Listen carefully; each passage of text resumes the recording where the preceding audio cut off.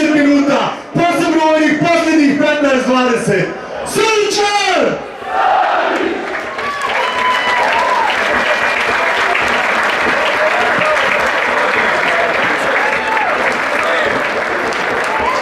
Bilo je jedno od najtežih sezona, ali uprko svemu osvojili smo titulu prvaka. Još jedan igrač bez kojeg smo ostali u drugom dijelu sezone. Benny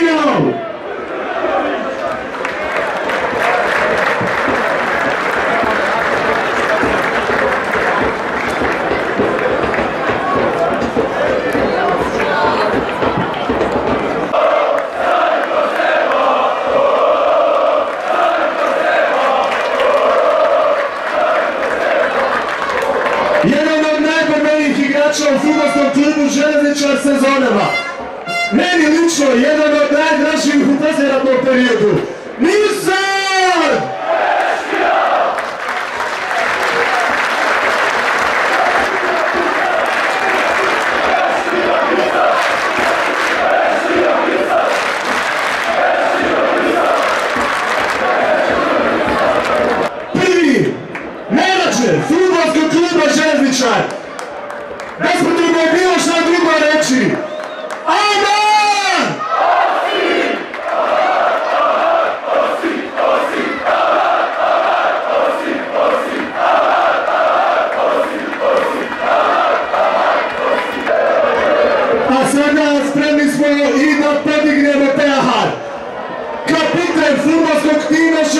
Yeah.